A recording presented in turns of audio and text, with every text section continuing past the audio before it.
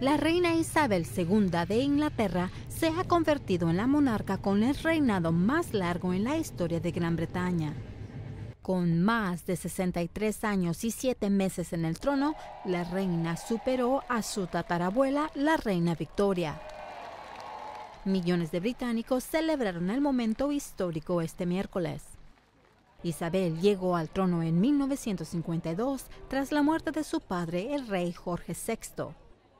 Ella estaba visitando una región remota de Kenia cuando llegaron las noticias de la muerte de su padre.